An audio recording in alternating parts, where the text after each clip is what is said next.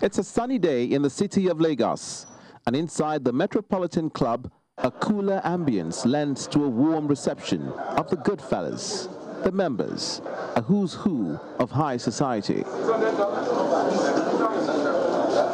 The gallery of Metropolitan Club presidents of yore, living and dearly departed, look down as though to give a nod of approval.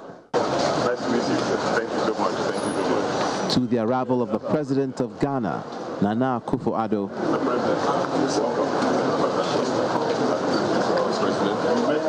pleasantries exchanged, and the high table ascended. The stage is set. Ghana leads that torch of African Renaissance. It wasn't Ghana Renaissance, it was African Renaissance. And Your Excellency, till today, that torch is still alive. I recall in my primary school days, in the 40s, the leading role which the Gold Coast played in the 40s and 50s in liberation of Africa. Now the moment they've all been waiting for, the president of Ghana, who emphasizes the importance of partnership between both countries.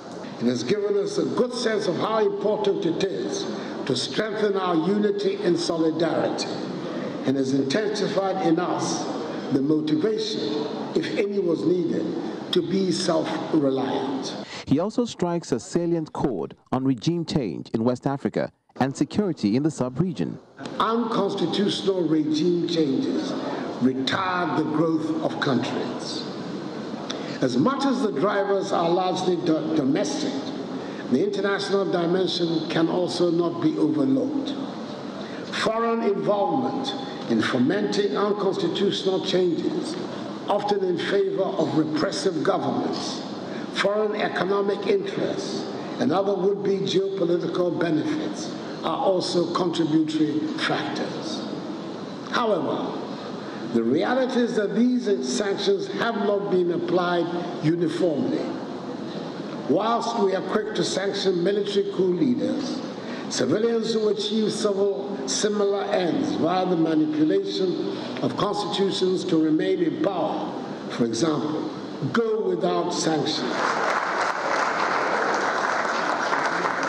A toast and photo ops bring the luncheon to a close, and without further aplomb, the president of Ghana takes his leave.